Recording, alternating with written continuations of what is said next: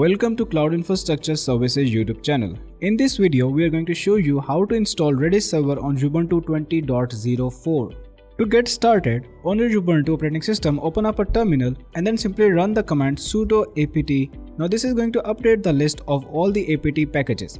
Meanwhile, what you can do is that you can click the link in the description box to come to this blog post which is a step-by-step -step guide on how to install Redis server on Ubuntu. And throughout this tutorial, I will be using the commands which are listed on this blog post. Now once the apt packages have been installed, the next step is to actually install the Redis server. Now to do that, we need to install the prerequisites. For that, simply head over to the blog post, copy all of these commands, paste them inside the terminal after using a sudo command and then hit enter.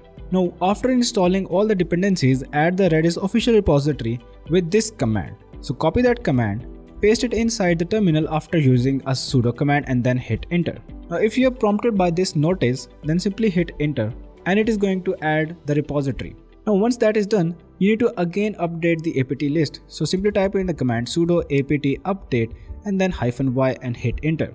After that, you can install the Redis server. So for that, simply type in the command sudo apt install redis-server and then also add in the flag "-y so you do not have to go for the confirmation message. And then simply wait for the installation process to fully complete.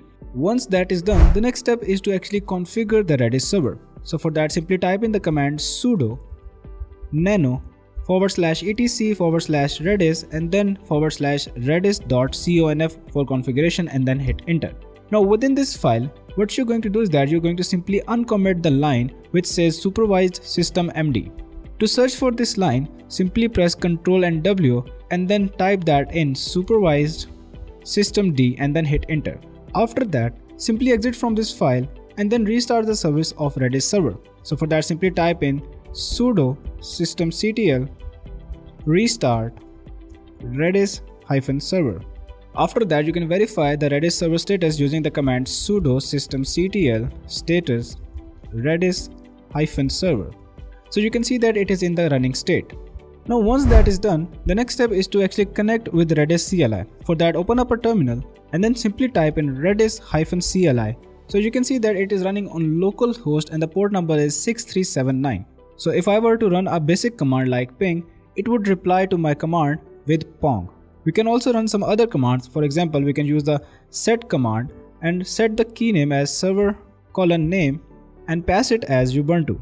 Once the value has been set, it returns us the OK message. And in the next command, we're going to get the server name. So we're going to use the get command, then server colon name. And it returns us the server name which is Ubuntu. And if you want to exit from this Redis CLI, simply type the exit command. Anyways, that brings us to the end of this tutorial.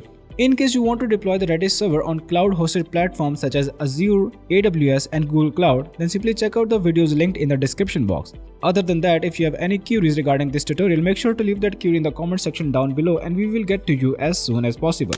And if this video has helped you in any way, make sure to leave a like and subscribe to the channel.